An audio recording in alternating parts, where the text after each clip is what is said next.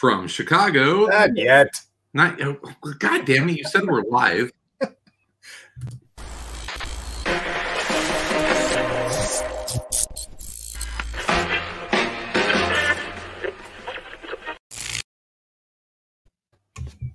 From Chicago, this is Around Comics, the comic culture podcast where we talk about everything in and around the world of comics and comics culture.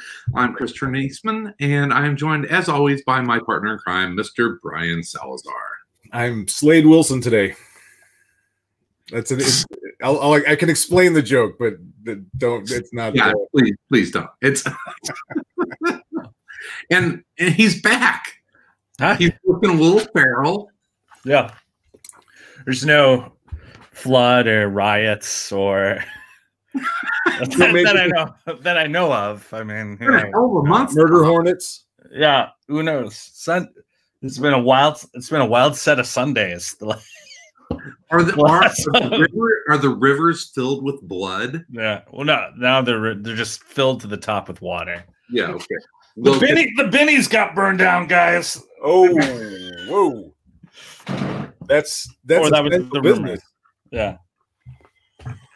Well, Tom, it's great to have you back, and uh, and oh, you're you. you're the uh, you're the star of uh, tonight's episode.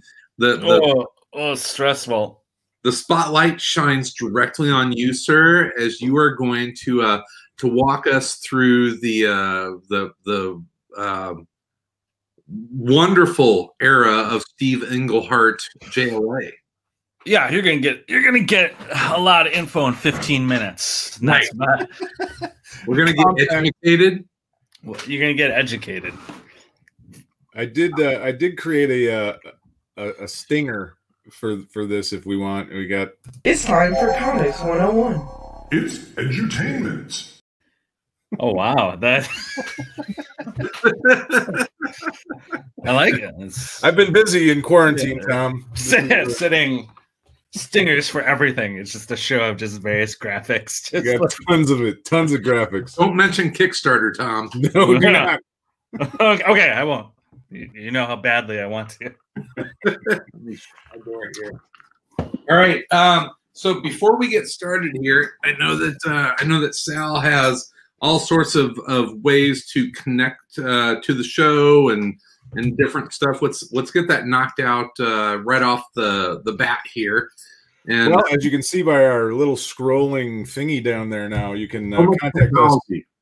Yeah, you like that? You know, you can subscribe, comment below. Uh, we are now on uh, Facebook Live, YouTube Live, and Periscope. So you can watch us on any of those uh, formats now. Uh, you can contact us at info at around comics, as you can see right there. Um,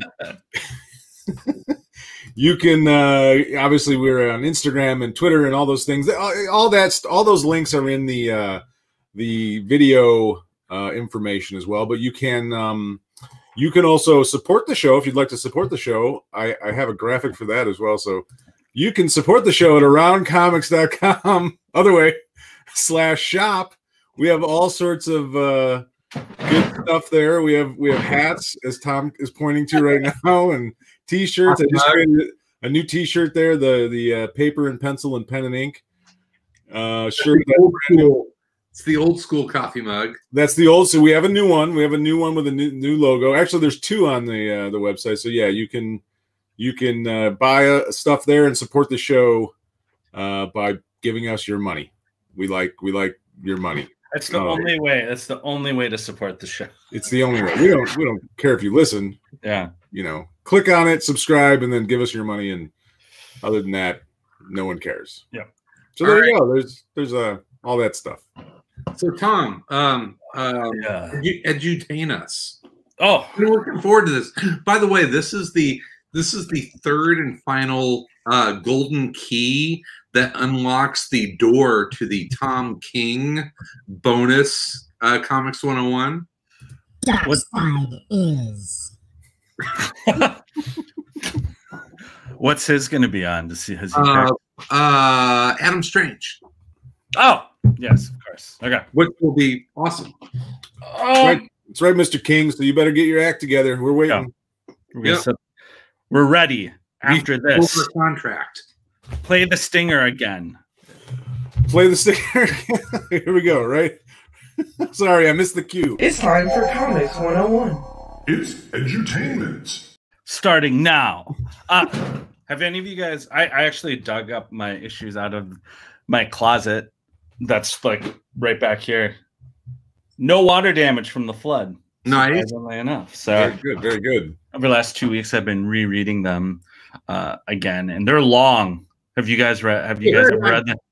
Have you guys ever read the Englehart ones? I, I don't think I ever have, and I, I started looking at them uh, today just to try and at Yeah. least have a somewhat knowledge about it, and I didn't realize they're all double sized issues. They're big double-sized issues, right? So, um, which you probably couldn't do these days, right? So, um, all all with art by Dick Dillon, who uh, somehow managed to churn out like a double-sized comic.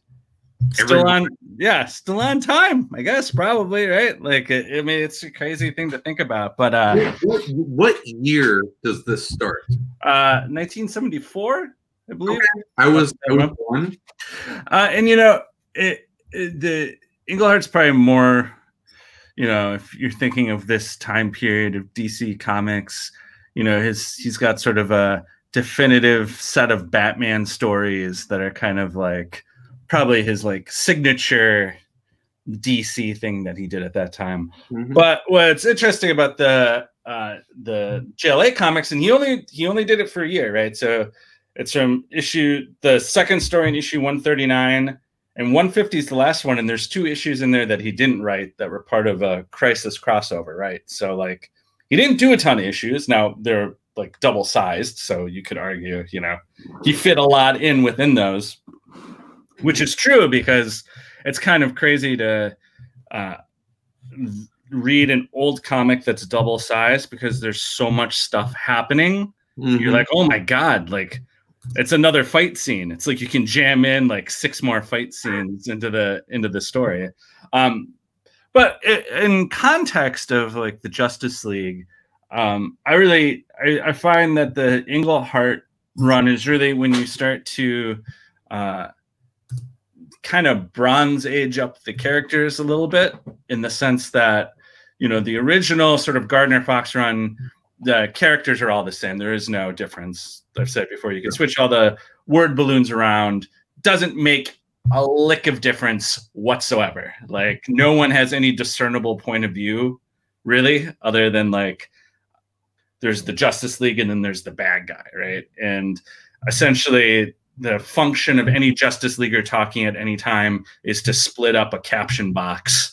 That's essentially like what all their dialogue is right? So Fur- further the plot. they're very yeah very plot centric very little characterization. And then after gardner fox left and you'd um, various writers had their runs on the on the comics such as uh, uh, len uh, len wein did a, a run on it Cary bates did some and they all sort of started moving the justice league to be more of what i guess you would think of like a modern comic right like uh, characters have points of view. You know, like Green Arrow and Hawkman don't like each other because Hawkman's conservative and Green and Green Arrow is liberal, right? So like characters start to have discerning points of view that like frame up how they interact with each other. But essentially, still, there's not a lot of like interaction between the characters, like true interaction of like, what does this character think of that character? what does Batman and Superman think of each other? You know, like never never comes up in a Justice League comic. You know, like previous to that, they're just like they're in the Justice League. They all like each other, right? Um, but what is interesting about the Englehart stuff is he really gets into like kind of what the characters think of each other, think of themselves in context of the Justice League, right? So, and like issue 139, which is like the he wrote the second story within that, right? Like the whole story, it's interesting that if you go back and read it, a lot of the captions and stuff are about how like the Justice League really isn't a team. Like they're a league that's different, right? Like they're not like this they're not totally linked together. It's all these separate characters coming together to do things and like it's not always at least within the context of the way he's talking about it, like it's not like a well-oiled machine all the time. Like, They need a manager. yeah, like they're not. yeah, they're like not. They're not a team. They're a league, and there's a difference. And he kind of makes it interesting, like the dividing line between that of what the Justice League is and what it isn't. Right. So, um, and really, like that first story is is really interesting because like it sets up like what I think also is a big difference between his Justice League and a lot of the previous work on the Justice League is that um, they're beatable, or at least they're not capable of doing everything all at once. Like they're not in previously in a lot of Justice League books. It's like the question simply the matter of when the Justice League knows what's happening and then they fix it. So like there's very little like nothing can withstand them, right? They put out So- fires, but yeah, no- yeah. it's like just the story is basically how long until they figure out there's a fire and then like it's up, right so like the way the stories that he tells work is that the justice league is in danger or they don't know what they're doing all the time or there's things they don't know right so like um, one of the stories he does early on is the manhunters right the uh, precursors to the those covers, and I was like, oh, those are manhunters. yeah re- previous to green lantern right so Mhm. like going to the whole backstory of the manhunters but the he really sets up the manhunters as like this thing that like justice league doesn't know anything about them they're like a uh they're a threat to them right mm-hmm. like they kind of outsmart the justice league at times and they're everywhere and they're huge and like there's people that you the, the manhunters have been hiding amongst us and it's like sort of a bigger grander vision of like what a villain for the Justice League could be, then They're giant robots, though. Yeah, but they're not though in these. They're human sized. Like when they were released by the Guardians to go out into the world, they just acted like people and their blue skin faded, so no one knew what they were. I, I mean, there's lots of problems with it. And there's like, uh, thought of the Manhunters was like DC's version of of Sentinels. yeah, I, and the, I think it eventually became like that. Yeah, but in this version of it they are just like they hid amongst humans as humans and they recruited other humans to be manhunters to help them like achieve their goals of you know world domination and getting back at the uh, you know the green lantern corps. But like it's a, a bigger vision of what a villain can be than probably a lot of the previous justice league stories where you know you, if you were to critique the justice league as like none of the the Justice League enemies are kind of like, eh, okay. Like if it's usually like a collection of their individual bad guys, right? And then everyone splits up and goes and does things, right? So he's sort of- and Sinestro and Yeah. Cheetah and Lex Luthor and yeah. so like just from the sake of just who the league faces, he's got bigger ideas of what a bad guy could be. You know, one of the foes they fight is the construct, which is like this artificial intelligence created by all the radio waves in the air. And it can be like in any machine and it like could be anywhere. And it's just a much more bigger idea of like who the Justice League could be fighting and who could be like an actual threat to the Justice League. But then also not only he doesn't only really change how the Justice League's interaction interacting with its foes, but also like how they interact with each other, right? So like you see moments where um, Wonder Woman is pissed off at the other Justice League members because she had just gone through the thing where she lost her powers for a while and she was just like a secret agent. And now she's back and she gets real snippy with uh, the Flash and the Flash. You know, his he actually has an inner monologue that has is different from what he's talking about, right? So like he's having thoughts about that- he's like for the time is different. It's Yeah, yeah. different for that character. for the Justice League. Yeah, it's like oh my god, he's saying one thing. they said what they thought. Yeah, he's saying one thing, and he's like thinking another thing. He's like, oh, I'm just some like yokel from the Midwest who's like trying to talk to this Amazon princess, right? And it's like for the Justice League, that's like earth shattering for that level of characterization to happen within the book of like, oh wait, the Flash is intimidated by Wonder Woman, you know, and then um, he does a whole issue. It's a story of Aquaman, the Atom, and Elongated Man um, fighting a bad guy. Because they essentially go on vacation because they're just kind of like, what do we do? Like, sometime you know, like our powers don't always solve every problem. They like are only helpful in very specific situations. is what Hagrid says. So you kind of see the three of them out in the world, like being heroes. Like so, Englehart kind of gives them their own issue of like pumping them up as heroes, but also giving them some self doubt. You know, like the Atom doubts whether he's like, am I really supposed to be in the Justice League? I'm just like a 180 pound scientist who can like shrink down. You know, like there are times when I can't do anything.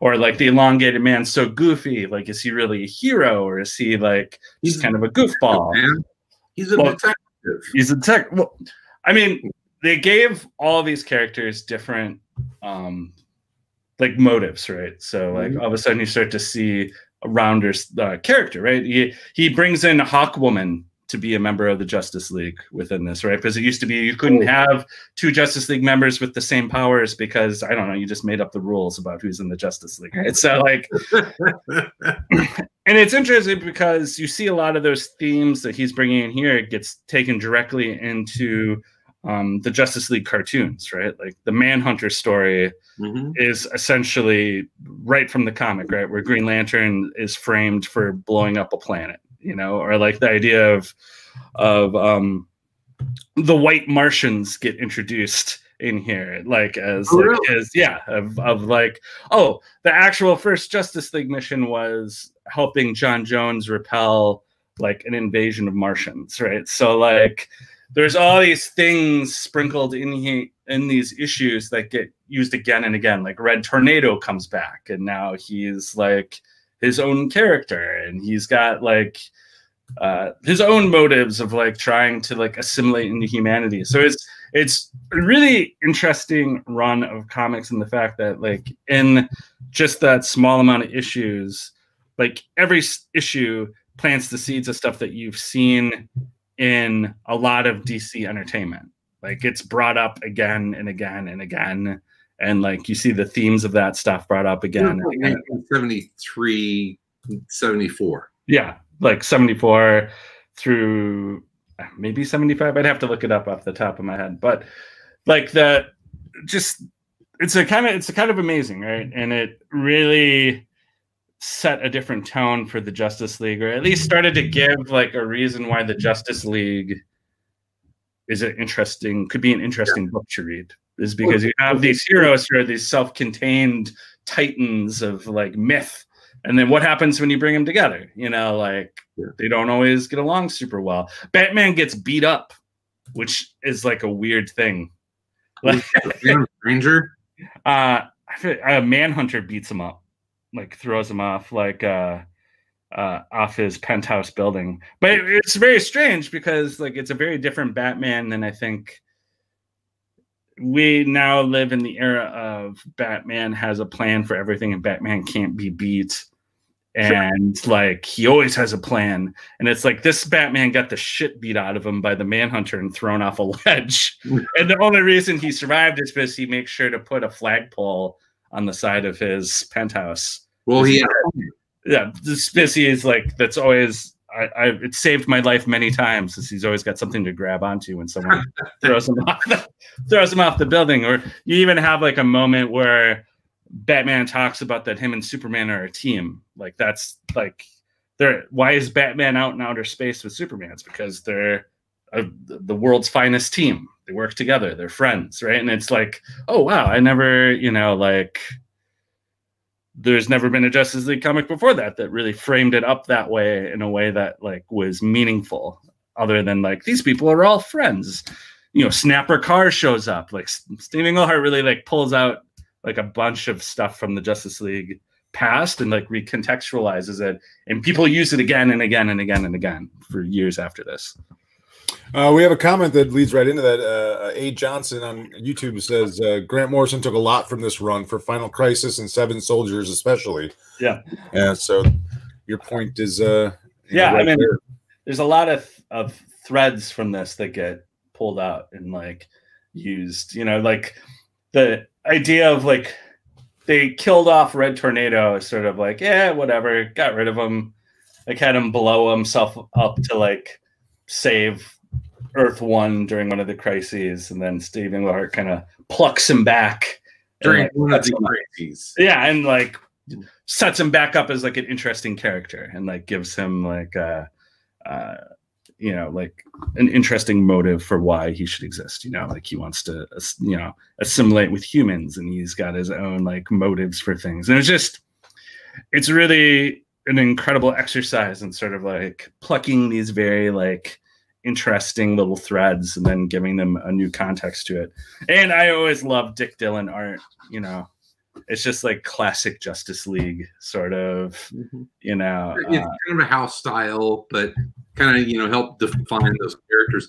How long was Englehart on JLA? It was just for those issues from 139 to 150 with two fill in, two crises issues he didn't write in there, and that was it. So it was a very small So run of comics. So not quite as long as the Neal Adams, Roy Thomas run on X Men, which means that Sal's not going to give you as much shit as he gave me. Well, I mean, at least they're double issues. I don't know. I, you know, I, I, I guess I, I will I say it's a little sad that so far the longest run of any of our comics 101s that we've done has been mine with fucking Stargirl. So uh, you know, but the Englehart issues are incredibly significant just in like the book being interesting as like a turning point of like oh like so you you can have them really more about quality over quantity. and Wow. it's in, if you say so, if you say so, i mean it is incredible how good how much is packed into each issue that comes up again like it is there's no issue it's like oh no one ever talks about that character ever again it's like somehow everything he did got used again and like picked up and blown out so it, it is amazing in that sense of like oh my god like he introduced so much stuff that all like seems so important Um, there's a, a interesting. I, I as I was searching around for stuff today, I happened to come across Steve Englehart's uh, website, Steve uh, SteveEnglehart.com, and there's actually a, a an interesting little uh, essay he wrote about these issues and sort of what they led into, and and and even what you had said, like you know, it often gets overlooked because of his Batman work. Uh, but it, you know, he thought it was a pretty, pretty good run of, of stuff. So people might want to go there at uh, steveenglehart.com. I can I'll, I'll post the uh, link for it, but um, uh, I thought that was kind of an interesting. Um, we do have a question Mhm. uh, from Mr. Johnson again. Uh, he asked, "Did the Batman Superman animosity come from Frank Miller?" Uh, I don't know. I mean, I definitely was there. Certainly, I was aware as a comic fan of them being at odds with each other. And and I go back to to Frank Miller interviews. It's like, you know, if you look at them, you know, obviously they would be at odds with each other. They're uh, ideologically opposed to each other. That was the first time, and this is also like 12 year old Chris. That's the first time that I can ever remember Batman and Superman being op- opponents, being, you know, argumentative to each other, still, you know, on the same side, but, but um, opposed ideologically on in, in ways. So, you know, to, to my knowledge, yes. Yeah, I don't know. I don't. I mean, I couldn't really answer it intelligently, to be honest. I, I, I don't know whether or not it was. It certainly is in there, but whether or not that was the first, I don't. I can't imagine that's the first time. Like, because, I mean, you had. I mean, you certainly had a different kind of Batman before that. I don't know that they ever had animosity, but I'm sure there were times where they maybe didn't agree Sure. with things. So, but yeah, I don't know. I don't know about. I don't And know about these. from like you know slapping on the kryptonite fucking gloves and and going at it. Well, yeah, but I don't even know. Would you even call it animosity in the in the Batman in the Frank Miller stuff? I mean, it was. I mean, he. I mean, he still trusted Clark enough to save his life. I, I And, and- once again, I think they were on the same side, but they were Right.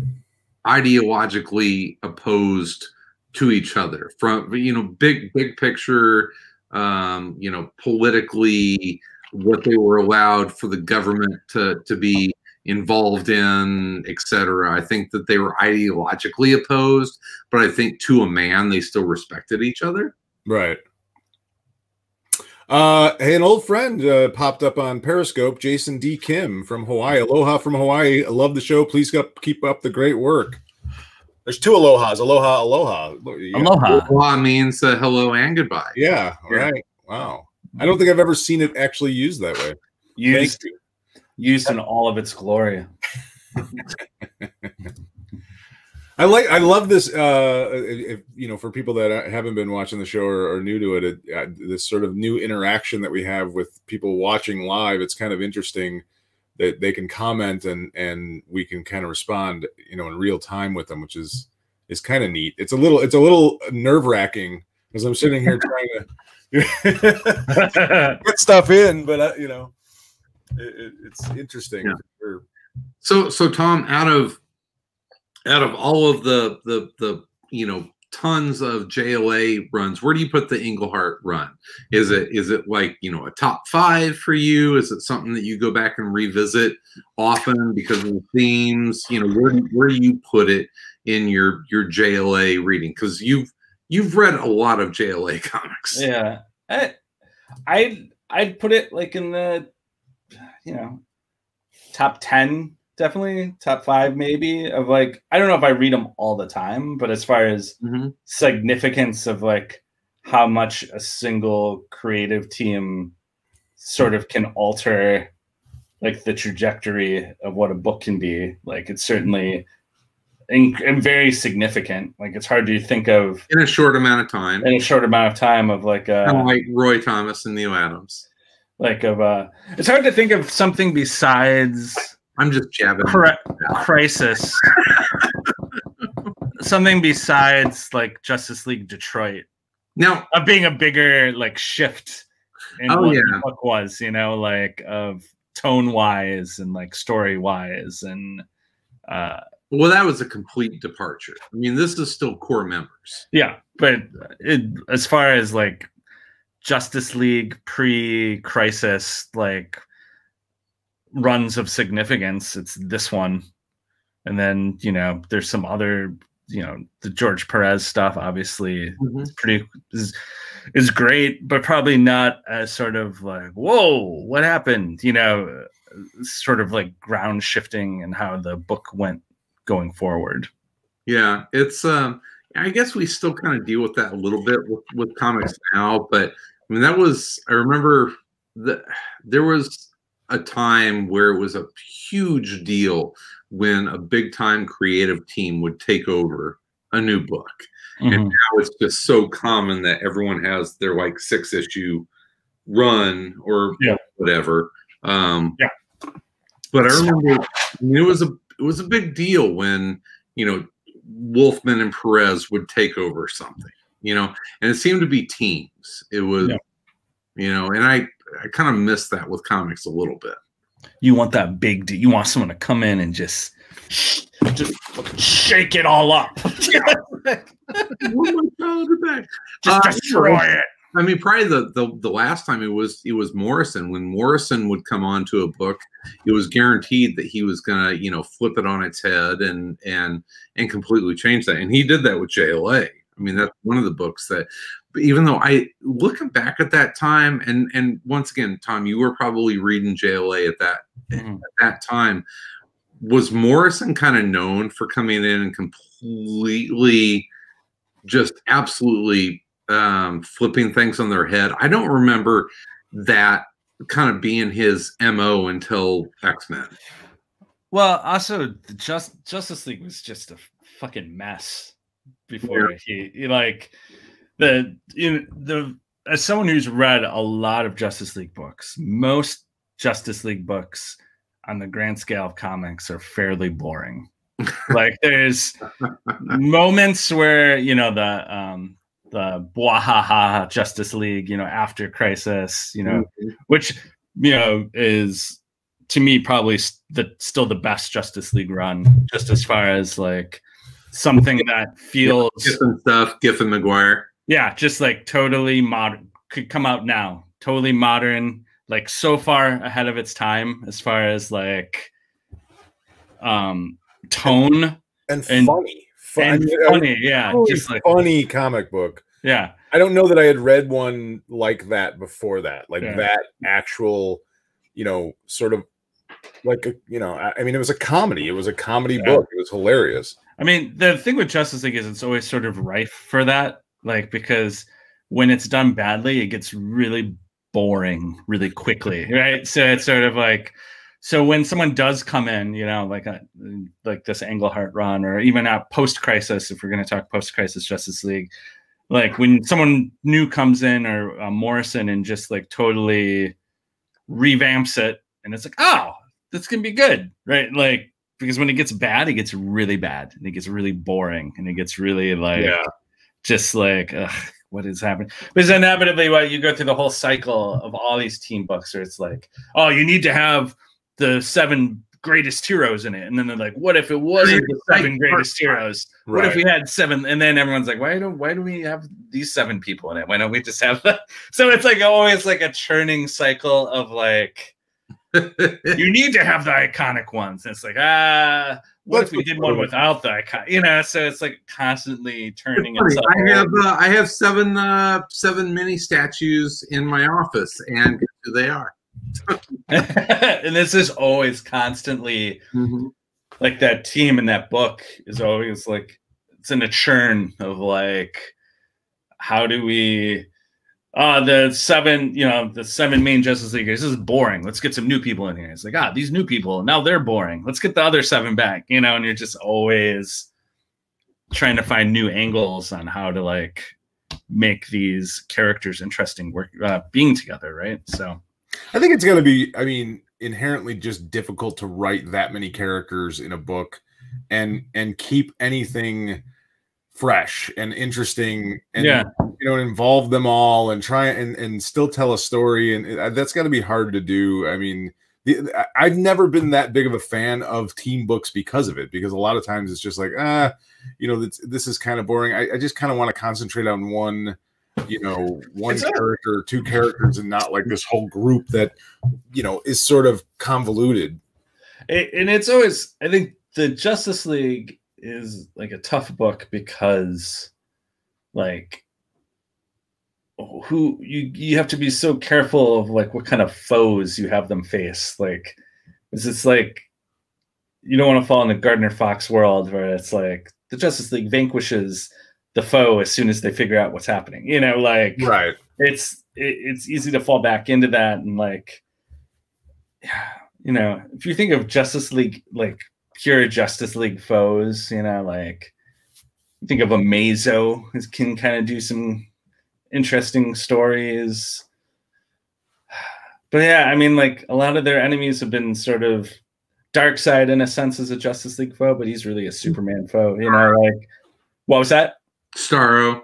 yeah starro i mean starro looks one, right? Starro looks fucking rad, Yeah. but like he's not gonna do anything other than just like hover over your city and drop a bunch of like tiny Starros. I mean, it looks cool as hell. It's a great like yeah like design element in a well comic. even when the they're on you know the face hugger Yeah, star it's- it's Yeah, awesome it's great. It's Yeah, awesome. yeah.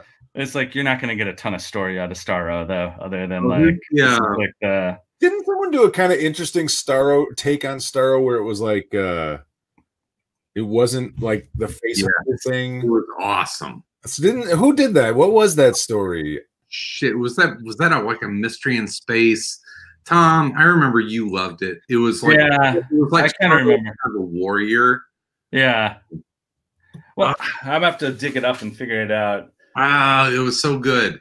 Yes, Sal, you're right. Mm. yeah there was a cool that was a cool story i remember i don't Yeah. remember what it was exactly but um I, that, that was pretty cool i mean it's always something i think i mean i think englehart had the right idea though it's like you know w- I, it's easier probably to write stories about like the difficulties of working with you know seven eight different people that all Yeah. have their own things going on and and and especially like i you know I, it's kind of one of the things i love about uh the boys you Yeah. know is the idea of like yeah just because these people are superheroes and they're working together. They they probably have gigantic egos and you know do not like each other. They all have their Yeah. own agendas and Yeah. their own things, and it's like that could be a real. I mean, the, the boys gets into it a little bit, Yeah. over the top way, but I think like in a serious way, you could do that.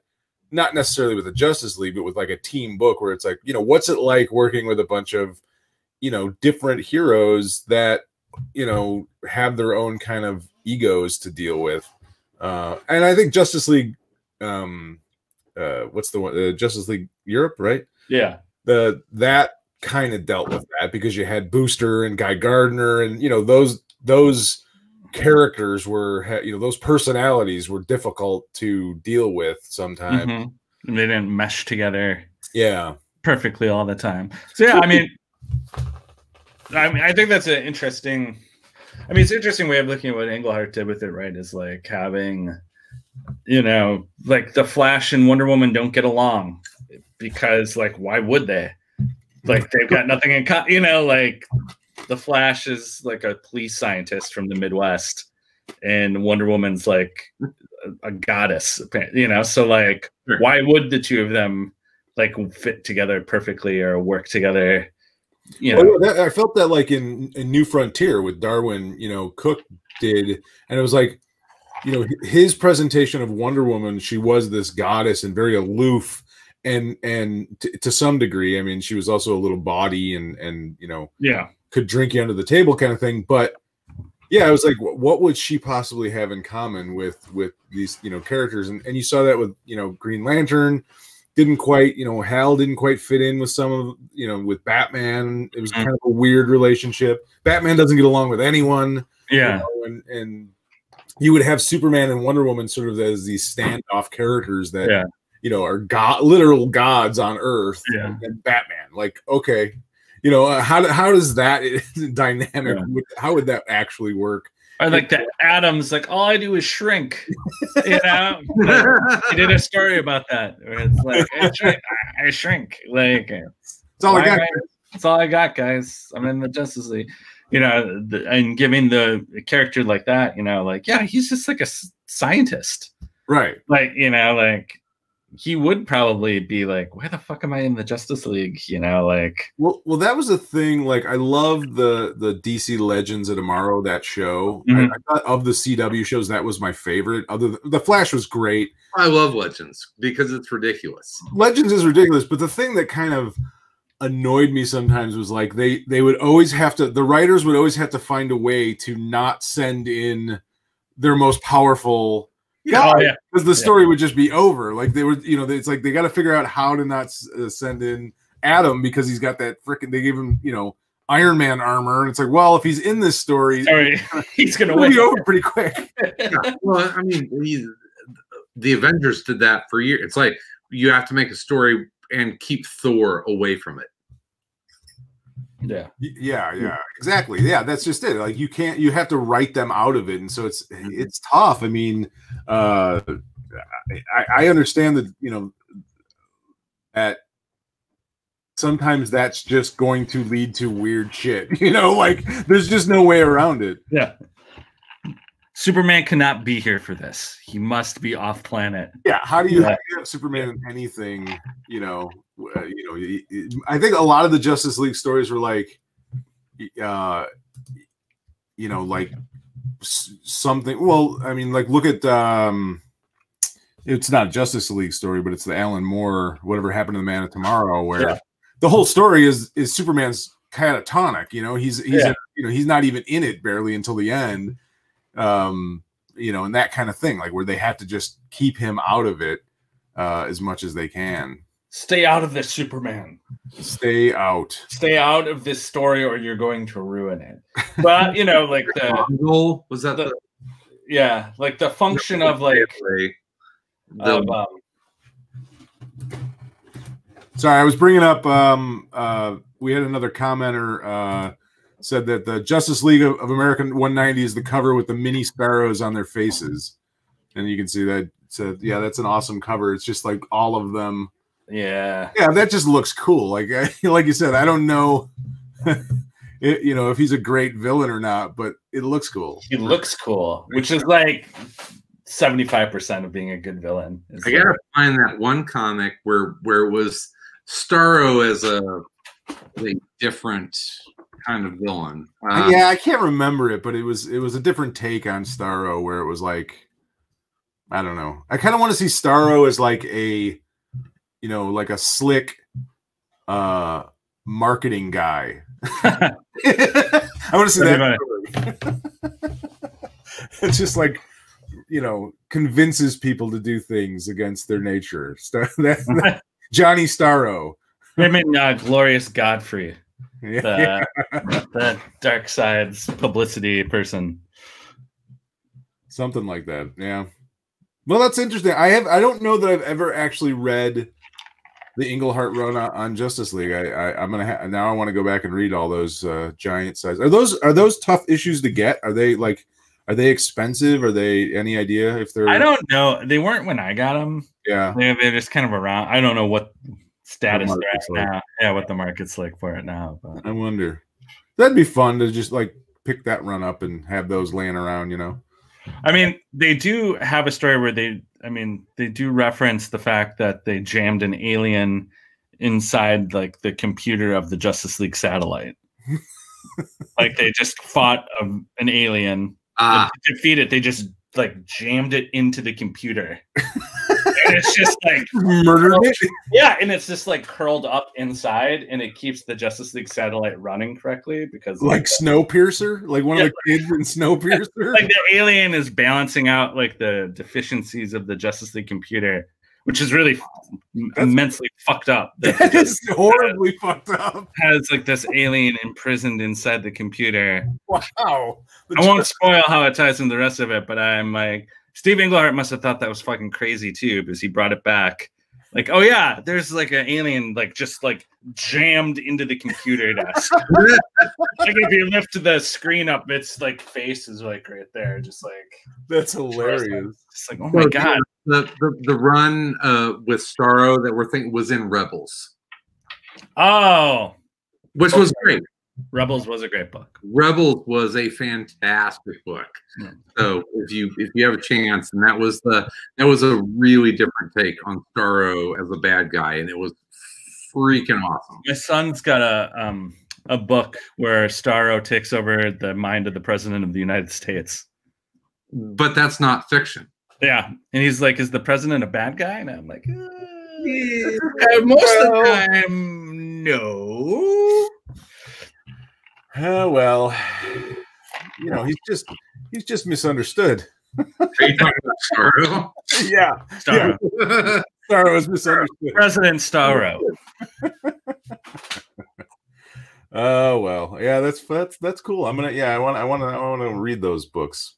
Those I don't think I I think I have I might have one or two, but I don't think I have all of them. I don't know. I have to go. He jammed a lot into it. Each issue, I'm like, damn, there's a lot of there's a lot in 34 pages of you know 1974 comic is like a lot of That's a lot of exposition, my that's friend. a lot of action is I going on. wonder if it if it's uh collect it, it collected at all. It's not that I, I I've not I I looked before the okay. show, but I didn't see it collected anywhere. Or Oh. maybe it's in a showcase. If the showcases ever got that high, I don't know. I don't think they got that far for. Uh, there looks like there is. I'm just I'm just googling right now.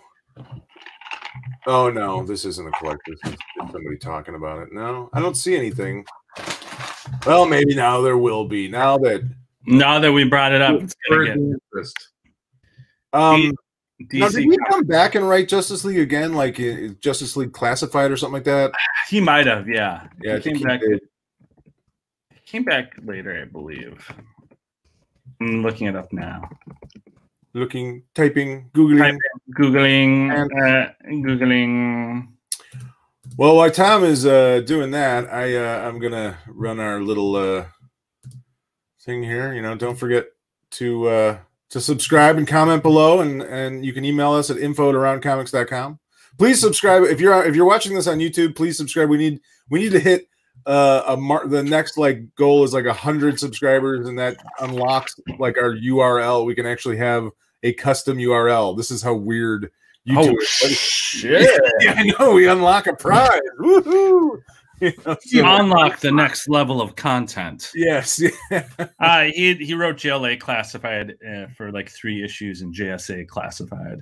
Okay. But he also wrote Green Lantern Corps. Um, can't yeah, from issue 201 to 223. He wrote uh, Green Lantern for a little while in the mid 80s. Was that when Hal was uh, an insurance agent? It was post insurance agent. Okay. Um, uh, you know, of course, did Detective Comics uh, for a Is he while. still alive? I think so. Yeah. Right. Yes, he is. He is. I wasn't sure. Steve, if you're out there, my friend, If you're watching, if you're watching, you're leave a comment. I'm, I'm alive. still alive, I'm still alive. assholes. oh well, that's uh, that's cool. I, I'm gonna I'm gonna I'm gonna check that stuff out. Go check it out, guys. Now, now you know. Now you know it's Now you uh, um. So that's that's our third comics 101. That's our challenge met Tom King. So uh you uh you are now you owe us a Adam Strange comics 101. So we'll we'll see about getting Tom King on the show again and and having him tell us all about Adam Strange. I'd imagine he did a bunch of research considering he's writing an Adam Strange think we book. kind of Yeah. all the work was done. All the Yeah. work was done. Yeah. What do you mean? I'm- Yeah, Someone did it for him. He has started writing a, an Adam Strange book. Oh, hey, who knows, man? You, you know, have you read some of his work? He may just wing it. He just, True. I'm just gonna, you know, Well, he admitted gets all of his ideas from Julian Weidel. apparently, apparently he does. Yeah. now, now, be nice. He's not gonna come back if you don't, if you don't be nice. He'll, he'll come back. He'll come. I, I, I, I, I trust and I believe in Tom King. Um, Tom, you missed it. I've been cleaning out my basement. Oh wow, what'd you find? Lucky you. I know. Do we have a live stream of that? People can watch Chris clean It's his basement. amazing what people on the internet are interested in. Uh, I did find these two little treasures. You remember these guys? History of what? It's the history of the DC universe. Ah, Oh wow, yeah, I kind of remember them. Not, not really. I don't remember those particular books though. It, it's the I think this this would have been the first like time I bought a prestige comic, which was basically not a, a saddle stitched or or or stapled comic. well, Uh, it is a history book. it so- is a history book, and these are yellow- okay. So Tom, this is the difference between you and me as as comic book fans. Um, I grew up. I was a Marvel kid, right? Um, I was basically X Men, and then got into you know Avengers, Captain America, that that kind of stuff. Um, Crisis happens in 1986, and DC put out this two issue series called History of the DC Universe, which was, if you read these, it is them basically relaying out the history of the DC Universe post crisis. Mhm. It's like this is now the history of of the universe. And they never changed it again. That was it. Done. That was- done. Set in stone. Stuck to it. No, It's fungible. it's yeah, extremely. now it's just like ah, what it all happened. Yeah. It's Whatever you want. Whatever you want. It's just, but what was cool is written by a by a uh, uh, Wolfman uh, and illustrated by George Perez, and so it's it's a beautiful comic. Um, but this was for me. This was the history of the DCU. This was kind of like the first time I set aside to say, okay, I'm going to learn what this universe of, of comics is. So This it's is it. established. Yeah. history, and it's never going to change. And I never have to learn anything new. Well, it gave me all the cliff notes I need Yeah. to jump in because basically I started reading the DCU with um like Batman Year One and um John Byrne's uh, Superman, Mhm. and kind of jumped in with that. So it was kind of neat to walk down memory lane finding these. And It's oh yeah, in 1986, this was the definitive history of the DCU.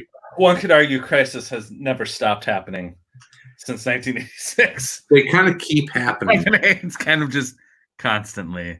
It's interesting how characters like Vigilante and Manhunter are prominently um, Well- featured in this. There is a new vigilante book coming out. You got he's obviously an important piece of DC history. I loved Vigilante. Yeah. That book was, I think, 1986, 87, 88. Vigilante was. You're like, hell yeah. Alan Moore wrote Vigilante. There's some good ones. That is true. Alan Moore wrote uh, an, uh, an It's true. I wasn't Yeah. calling you a liar. I wasn't. Listen, you liar. Bullshit. Bullshit. He never wrote that. You're lying. He never wrote it. It was a. Alan Moore wrote Vigilante. Quit lying. Did he? What? is- Yeah, he he he didn't write the book though. He wrote the character. He wrote he wrote an issue of the comic. Did he write it? And there he goes again. Chris is off. He's He's been mad. He's been running in and out of camera. Comics 101. Alan Moore's Vigilante. One issue. We're gonna, I'm just gonna read. I'm just gonna read it to you. Hey, that'd probably get a lot of numbers, man. People Yeah. enjoy that on YouTube. Just like just holding it up. Just like here's what happens. Here it is. That's the comics. That's Chris's next one. Comics 101. Vigilante by Alan Moore. Number I don't, I don't remember. I don't know. He's he's searching for it. He For left. He left. Jesus. He's gone. Oh boy, this has been uh, quite um Did he? uh, uh, an interesting already. He wrote, who wrote he wrote two issues. He's lying. He wrote uh 17 and 18, I think. It's in a closet somewhere. Ugh. Oh, too bad. We really wanted you to read it to us as your next comment. No, comics. I was going to find out what issue it was. 17 and 18. Well, there you go. See, Yeah. Um it's there's actually a collected edition of it. yeah, What the it fuck? was, it was awesome. I'm telling you. It's in the DC Alan Moore that trade that's all his like DC. Oh. I was looking for the DC stories or Alan Moore's DC Yeah. DC stories. Yeah, I think I have that somewhere. I'm not going to go searching for it. Hold on a minute. Here, let me just put everything on pause and Wait, everyone, I'll be right back. You all were fucking entertaining enough to keep everyone knowing why I was looking for a, a trade. A Johnson didn't think you were coming He back. ain't coming So- back. He Yeah. walked off. Uh, do you guys want to read? Uh, I have a, a listener email. We can. Uh, we can. Read. All right. Let's see here. Where are we at? This is from Chris. And Chris said, uh, Hey guys, liked your brief discussion on Kickstarter. I'm not sure uh, about your views, but I have noticed lately that creators are cross funding books between both Kickstarter and Indiegogo. And in doing so, it seems the Kickstarters are being funded but not coming out for months after the initial date because of Indiegogo campaigns and extended funding continuously going. For instance, a creator and friend of mine did a campaign for a well known indie character on both platforms. It was done months ago, with March being the release. Yet every update was about the uh, Indiegogo funding going strong and adding more stretch goals. However, earlier this week, he sent an update because he had had numerous complaints. Now, suddenly, the surveys have gone out and orders will be fulfilled within coming days. Just curious on your observations and thought on this, Chris. Well, thanks, Chris, for sending us an email. I didn't, I- you know, I didn't know that. I wasn't aware of that. Really, I guess it is kind of strange if you're cross-funding a, you know, book. I mean, the whole point is like, you know, uh, on Kickstarter, you have the date that this is going to be done, and you haven't told them to fund it. So yeah, that's a little odd. I would, I would be skeptical of anything that is cross crowdfunding over different platforms. That's just my take. yeah, I don't know. I mean, Lane, I I guess. mean, I'm not going to blame anybody for trying to sell something that's their, you know, sell their comic. Mhm. They can sell it. I don't, you know, I don't think it's, I don't think it's necessarily nefarious. I don't know that they're trying to anybody What if one succeeds and what if one fails? And and then you know the say if it if it's funded on Kickstarter but not on Indiegogo, then who gets their books and all that kind of yeah. That's it, it, pick a fucking lane. Whoa, relax, Chris. It's not that serious. You know, you look. Lane. I want my books. Kid- Chris is gonna start hitting the streets. He's gonna go protest for no Indiegogo Kickstarter Yeah, cross cross.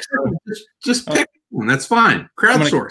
Great. Kickstart your door in. I'm gonna kickstart your door in and come get my book. All right. Play the stinger.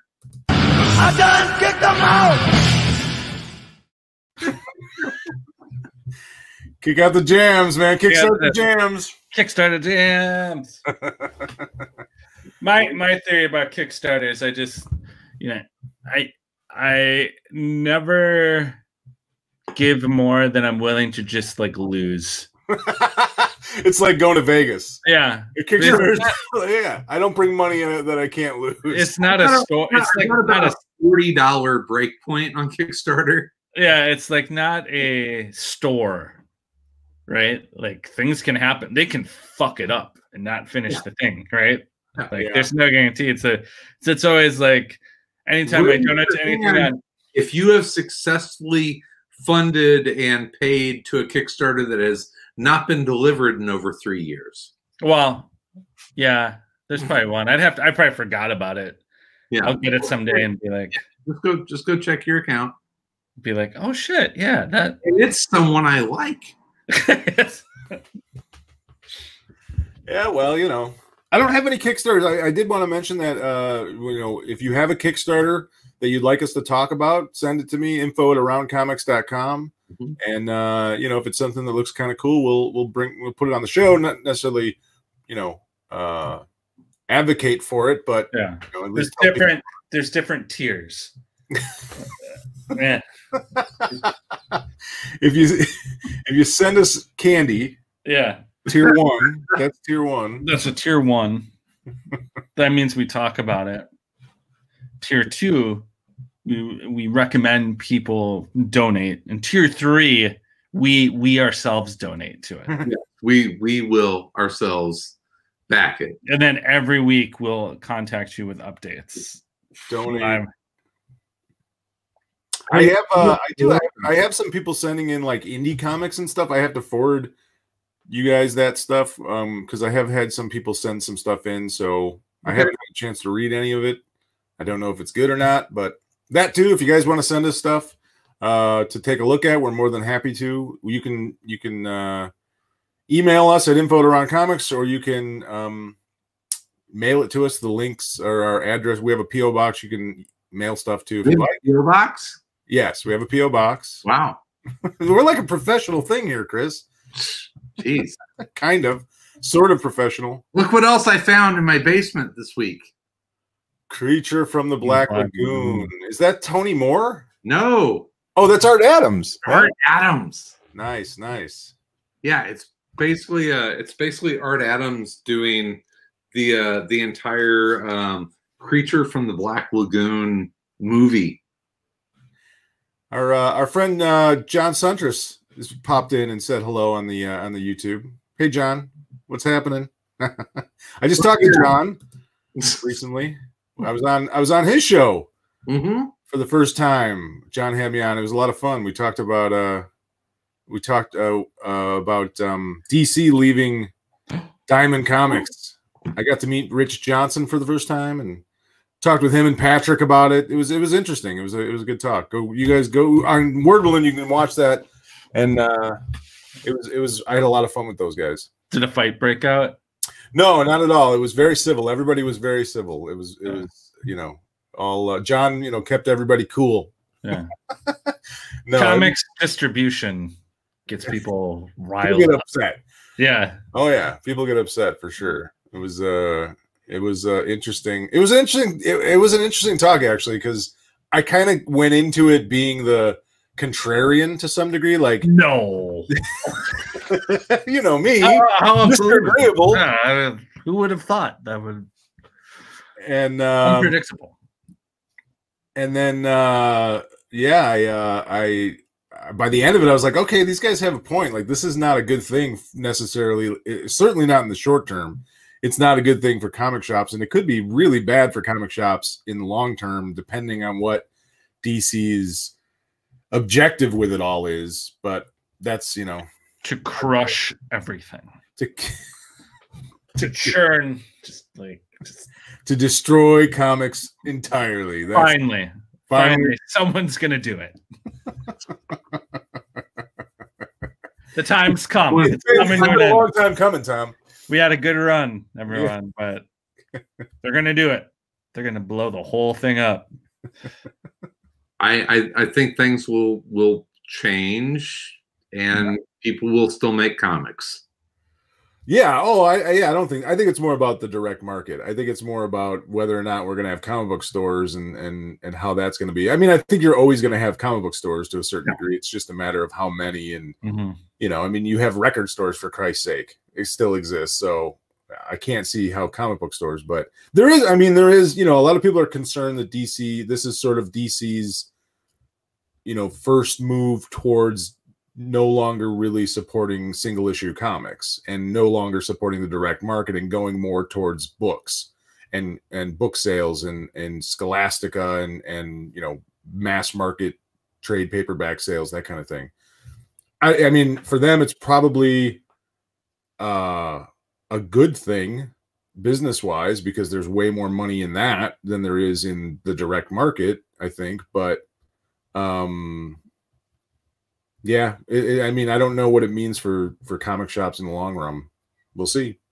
Uh, I think it's going to be an interesting year. I think that that Comic- Even even more interesting than it already.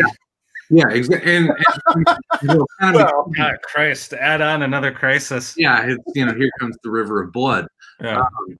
uh, comics were going to have to change what they were doing anyway, or they were going to go away.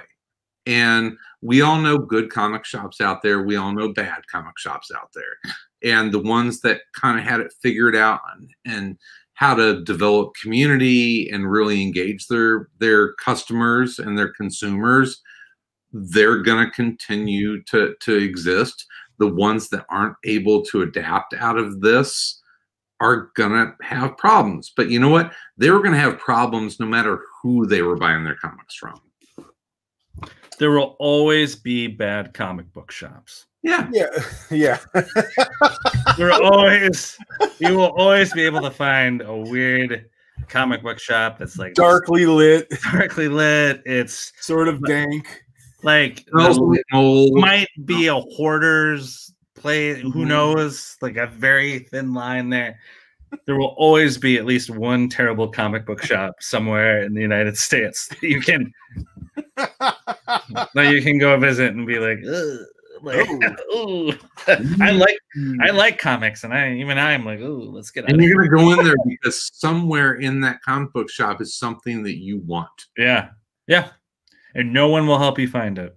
Yeah. They That don't know. whole, that whole Ingram Englehart run of JLA in there in a long box. I I have these sun bleached comics out for a reason in the window. All right, there's no reason to move all that stuff around. I've I know, I know exactly the comic shop you're talking about, Tom. there's no reason. It's in Oak Park, Illinois. It's. Yeah. Listen, there's it's a method to the madness, but don't worry, there'll always be a bad comic book shop you can go. Yeah.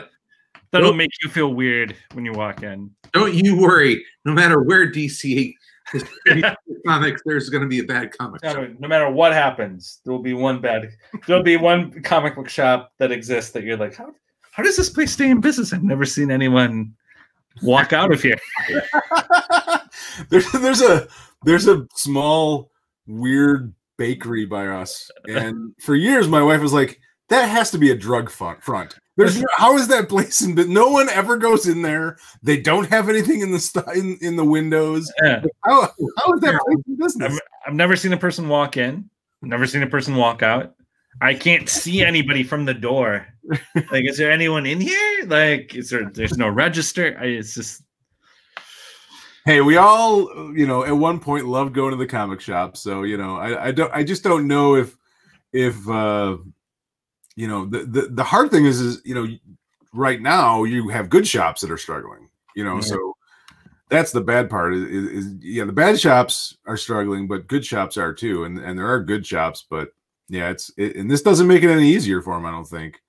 You know, it's it's a tough it's a tough thing. Um, so we'll see, but I don't know. You know, the, like I said, there's a lot of negativity with this decision, and there's a lot of people like assuming that it's DC, like basically, you know, snubbing their nose at the direct market and comic shops and just like being fuck it, we're done with you, and we're going after the the smile audience. You know, which eh, you know, as a corporation, that's that's what they're going to do. They're going to go where the money is, and it, it, you know, unfortunately, it makes sense for them. It's not, you know, it's not a great thing for the uh community, you know, but You gotta gotta get in that Scholastic catalog, my friend. That's where all the magic is. That's where the kids are. you got to get it to the kids. It's for the children. It's for the children. If you want children to read them, like for real, like my son pores over the Scholastic catalog. Like, I, my, kid, my kid has definitely read more uh, Diary of a Wimpy Kid and Dog Man than Yep. he has single issue comic books. You know, like gotta get in that Scholastic catalog. Look at Chris drinking from the old old mug. What do you got in that mug, Chris? I'm thinking it's scotch. Is that is that full of scotch? oh wow, you've really gone uh, native, huh? You've, A Why- coffee why- mug full of high life. A coffee mug full of high life. Life behind the curtain, my friends. oh boy, I didn't think. uh uh, you know, you were you were. I thought you would maybe maintain some level of sanity going up there, but apparently that has not happened. You are you are just yeah. No, look- baby. Yeah, a Bucks fan. Wow, they don't even play basketball anymore. Basketball's done. It's Coming over. back. They're coming back. Are you gonna be a Packers fan now? Are you gonna be wearing a Aaron Rodgers jersey? No, I'll never root for the Packers. It's really you know the on, on a serious and sad note. This was shaping up to be like the year of Milwaukee. You know, they had the Bucks, who were undoubtedly the best team in in the NBA. They've got the the Democratic National Convention coming here Mm. summer. You know, the Summerfest, and and I mean, this was going to be an amazing year to to live in Milwaukee. I was gonna tailgate at the DNC. I we my wife and I Yeah. were, were volunteering. Get some brats out there in the parking lot. Yeah, Slam four or five high lifes. yeah. Talk about political platform. Play my- Cornhole. Play some corn. Yeah, would have been great. Well, it's going to be like four hundred and thirty million dollars of revenue into the city. So, um, uh, yeah, it's uh, 2020 was supposed to be awesome. Well, You- guess what? you're right, baby. Dave Enrique. Yeah. Guess what, guys? 2020 sucks. 2020 is It's not good. Sorry. None not of good. those good things are happening. Guess what? It doesn't matter where Comic- you live. It sucks Comics- everywhere. Comics are done. It's over. Sorry. Civilization as we know Yeah, it. I- pretty You much. know, you're worried about comic book stores. I don't know. I can't get toilet paper. yeah. You know. yeah. Someone burned down the liquor store. Oh, you know that's like that's worse than burning down a church. What the, what is Yeah. wrong with these? Yeah. people? It- it's funny. Why? more Liquor stores untouched. Comics are over, guys. Add that onto the pandemic and uh, the riots. Police brutality, police brutality, comics ending, pandemic. One of those things doesn't fit in. More shit I found in my uh in my uh basement. I gotta come up with a stinger for show and tell. Chris's show and tell. Chris grabbing just here. uh, I got. Look what I found. Look at that. I got. uh Let's see. What do I This got here? This is relevant. It's relevant. Okay. Go ahead. No, Look have you, at. Look at without a head. oh, nice. I got. Star. This is the closest thing to me. Starman. Uh, we're now. This is. We're just pulling books off shelves. Just Yeah. like, hey, look at this. We're- all right, go ahead, Chris. So this is on Netflix now, right? Uh, yeah, I saw that. Yeah, Last Days of American Crime is a movie on Netflix. Apparently, I didn't. Yeah. I never, uh, is it good? I never read it. Um, it's like eight years old. Um, it's Remender and I uh, mean, it- that's- It's a strange answer to the. it's a crime comic that Rick Remender wrote like eight years ago. It's not Is it good? It's eight. it's eight years old. Yeah, it's eight years old. Is that like a wine or a cheese? Then is it is it getting better? it's a crime book that Remender wrote like you know way before I like moved like two houses ago. We don't know. We don't remember if it's good or bad, but we do know. It's from Radical. You remember Radical Publishing? So was the point of that to hope that Rick Remender is watching this and for him to Rick. know that you still have? No, no. Rick. hope Are you out there? We guys had actually seen the Last Days of American Crime on Netflix. I leave a comment down here. Has anyone seen The Last Days of American Crime? Has anyone read the book? Because we haven't, and we haven't seen the movie. I read the book, but it's eight years old, and I don't. I've had I'm old. I've had two kids since then. And Chris has had seven thousand beers, years. Yeah. So I don't remember. so I have no idea, no idea what. uh uh What is the so copyright? it could be good. Don't know. Don't know. Not sure. We'll figure it out. Maybe. 2009, Nine years old. 11 years ago. Um, Mr. Johnson wants to know how old 11 But do you guys remember Radical Publishing? Yeah, they were. They're all about television optioning stuff. that was the last book they ever came out with. They came out with a few. I forget some of the others, but yeah. Um, Uh, the British Bake Off, what originally was a radical. John says the uh, uh John answered it. It's Yeah. good. the book Thank was you, good. John. It was not just eight years old. It Thank was you, John. also good. 11 John. years old, and it was good. John, do you know how 11 old it is? It's eleven. Jesus Christ. Yeah.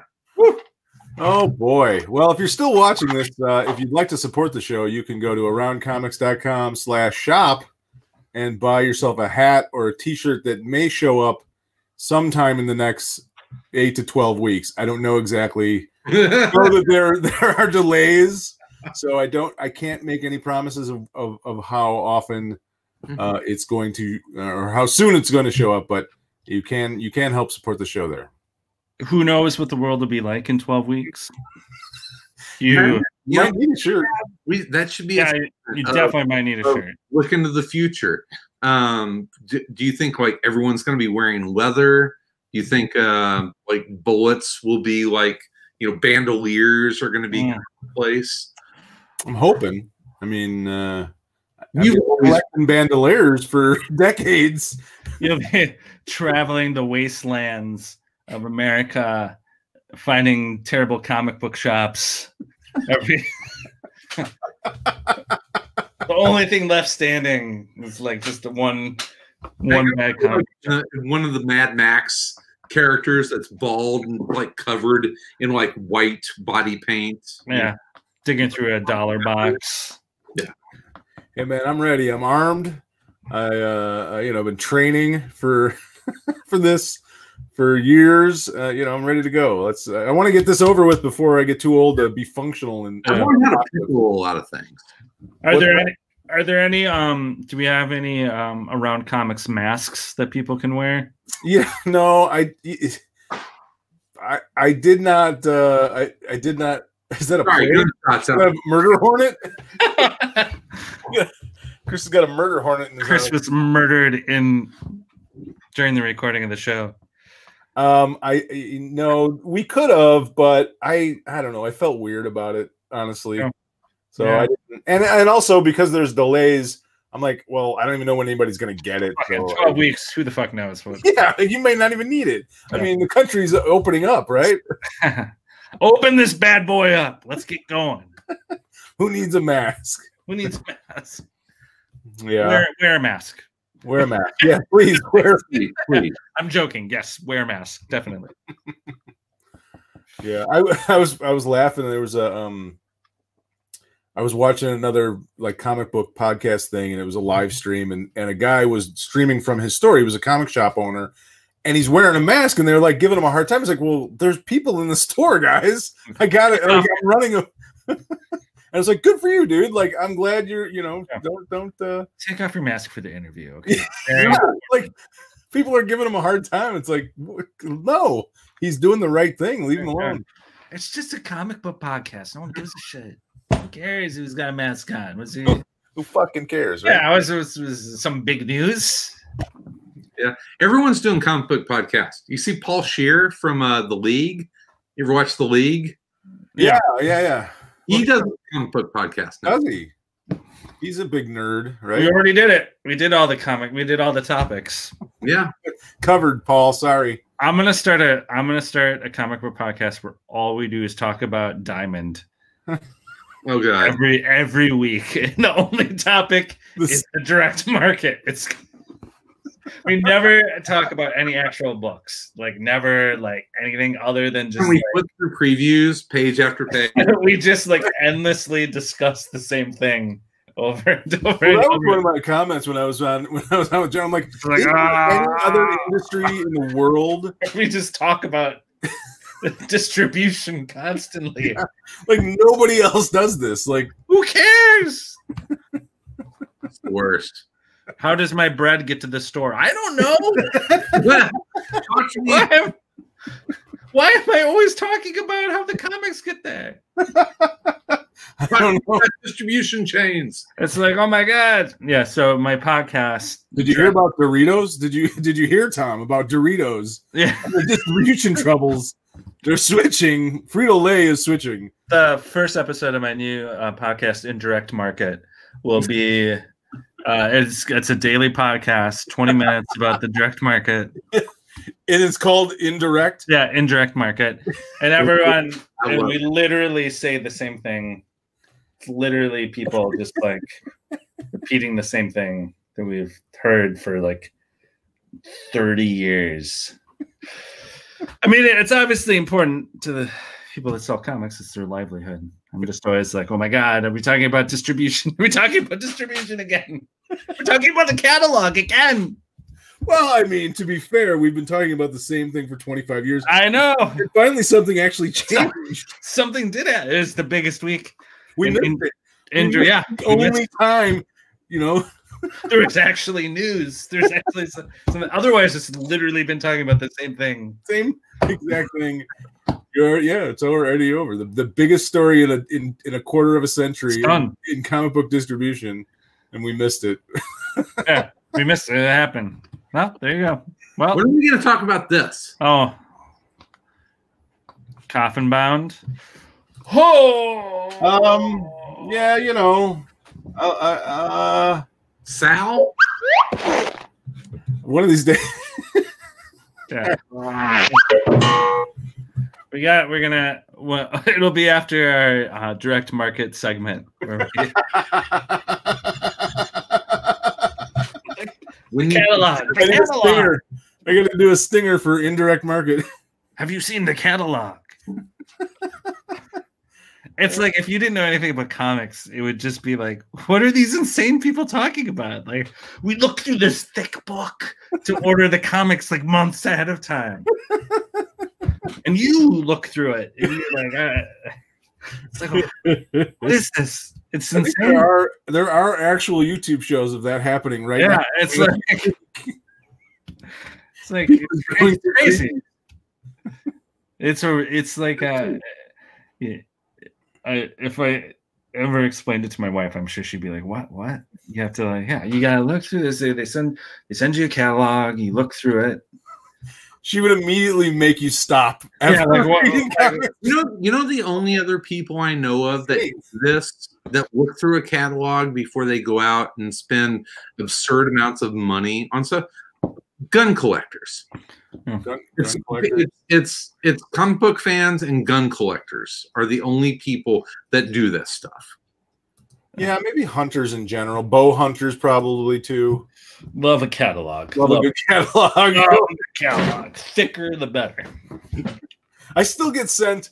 I ordered like one part from this company. Uh, I can't think of the name of it. It's like uh, it's a bit. They they manufacture like millions of parts, and they have this catalog that is this thick.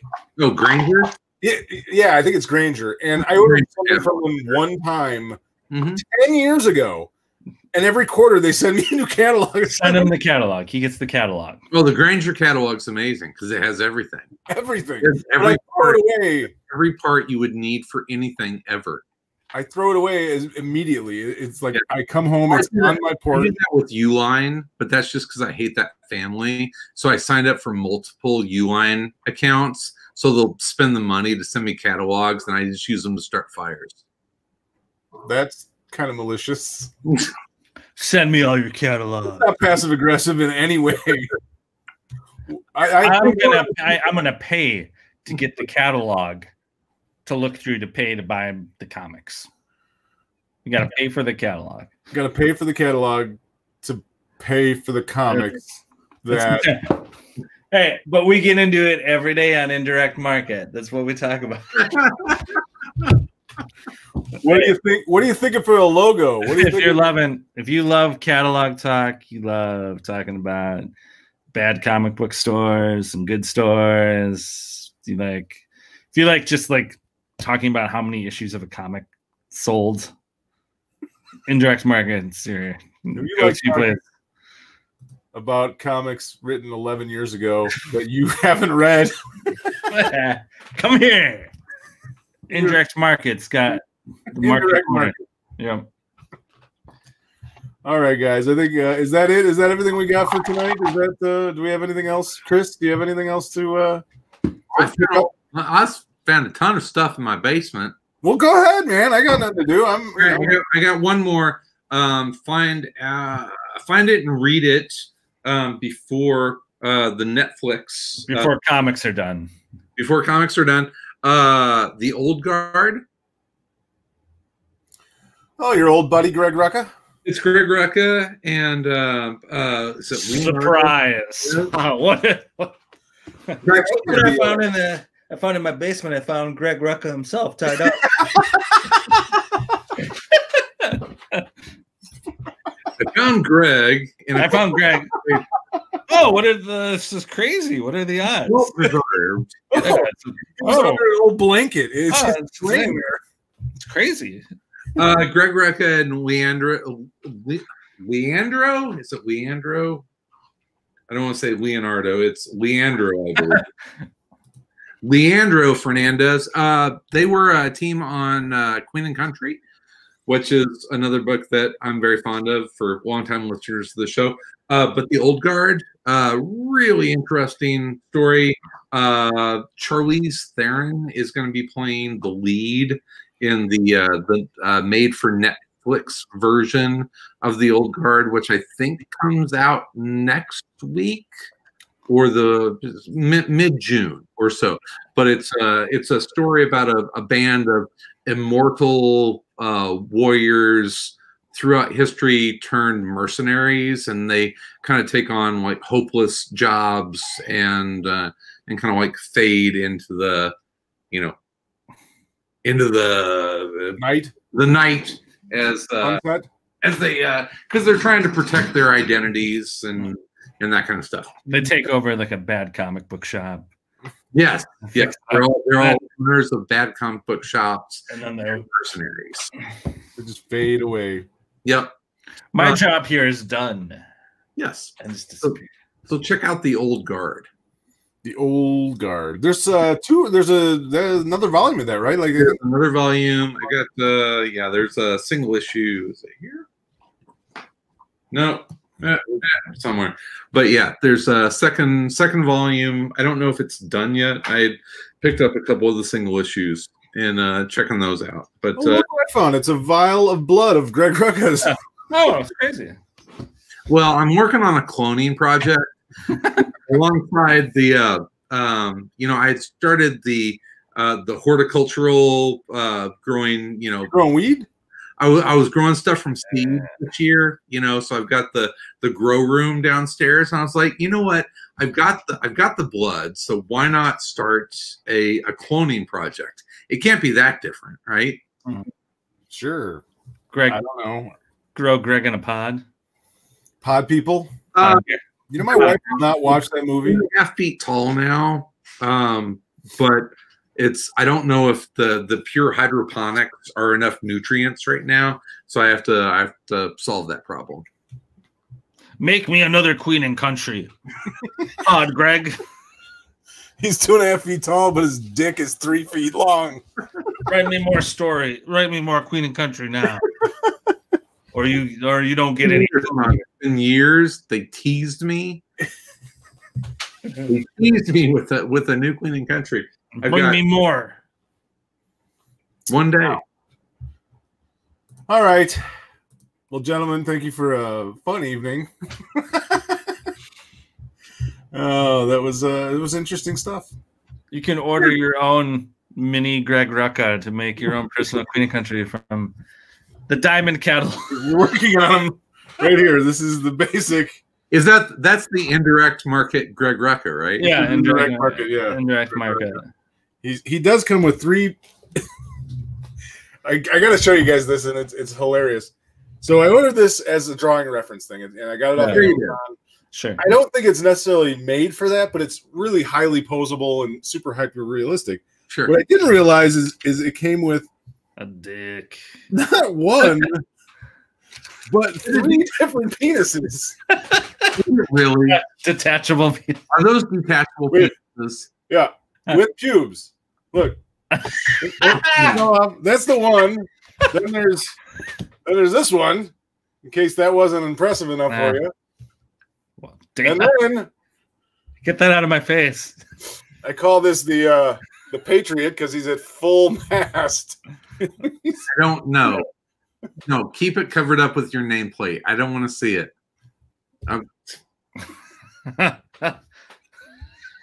As you sit down in the basement, hunched over your drafting board. If only I, if only I could find an image of a man with an erect penis. To, I was like, Draw. okay, where can I Weird. find it? Where can I find this is a little weird, and he has no head. my tiny statue? Well, apparently he has got a lot of head. yeah, Let me see this giant. Well, that was good. I liked it. Get one of those little mini, one of those little mini boner statues. it is a posable figure, though. I mean, it, it's really you know quite Yeah. quite posable.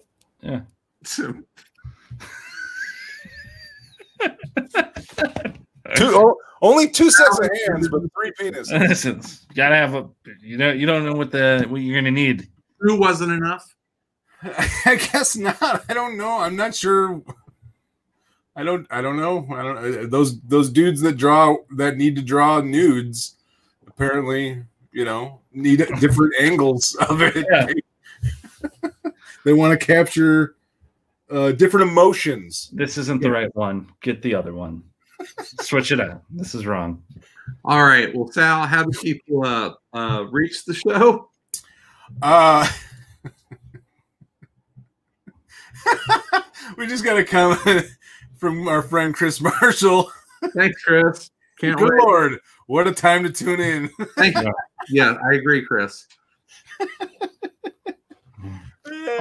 uh, yeah, you can uh, you can contact us at info at around comics. Right there, it's uh, there's our email right there. You know, you can uh, get us at uh, Instagram, YouTube, TikTok. Tik. No, not on TikTok. Uh, Periscope, Find us. On Friendster. Uh, Facebook.com slash Around Comics Podcast, uh, Twitter at Around Comics. All those all those good places. Awesome. and uh, and don't forget that you can uh, you can get your official around comics merchandise at aroundcomics.com slash shop Yep. hats and shirts and coffee mugs and good stuff there So this was the uh, the last of our first round of Comics 101. Uh, if you have a subject out there that you would like to know more about, that you want Sal to uh, to research and uh, whoa and What? and uh, teach us about, go ahead and uh, and send your ideas for uh, Comics 101. Wait, you're next. Am I next? No, Tom King is next. Well, Tom King's next, and then you're next. And then I'm okay. So I gotta, I gotta think of mine. So all right. So uh, I'll I'll I'll come up with something. I was Yeah, we got to get time. Who knows when that'll be? He's a busy man, so he is a busy man, but uh, I was thinking Harley Quinn. uh, yeah, that'd be a good one. I mean, people love Harley Quinn. She's very Yeah. popular for sure. Yeah, Yeah. you know, it's it's you know who knows where Harley Quinn came from. I mean, I know, but Oh, Right. hey, I was going to ask you. Mhm. Um, see, thinking of psychotic women, um, have you watched uh, Killing Eve? yeah, it's awesome. Oh my god, it's so good. I had no people have been talking about it. I haven't had a chance to watch it. Yeah. And I was just I was watching it tonight and I was like, I don't think I've ever seen a woman, a female actor play that good of a psycho. You know what I mean? Like she is Hannibal Lecter level psycho Yeah, in that in that show. She's she's so good. Yeah, that that, that show's great. Oh, that was it. I just want I didn't I thought you had recommended it to me. yeah. Same uh, same writer is uh, and actress is uh, Fleabag. Oh, okay. Phoebe, what's uh Tom? It's Phoebe uh Waller Cates or something like that. Um, she writes uh, uh Killing Eve. Flea, Fleabag's awesome. Well, no wonder I like it. Yeah, okay, that makes sense. That's Yep. why it's so funny. Okay. Exactly. Uh, but yeah, it's, it's fantastic. Uh, what did I just uh finish up that was uh that was pretty honest? Uh, Tom, have you watched? Uh, this is not for Sal. Uh, have you finished uh, Dirk Gently's Holistic Detective Agency? No. It's probably weird and quirky enough for you to really love it. It would be too weird and too quirky for Sal. He would he. I I watched like one and a half episodes of it, and yes, it is It's too bright for you, not for me.